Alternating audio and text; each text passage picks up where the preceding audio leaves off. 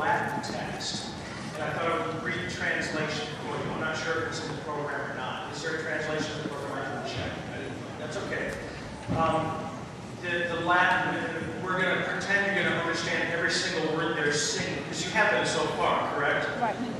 Their words are impeccable today. I've been very impressed. I'm very impressed with a lot of things. This text translates to, O light born of light, Jesus, Redeemer of the world, mercifully deem us worthy to offer our prayers and praises. You who once became flesh for the sake of your lost ones, grant that we become members of your holy body.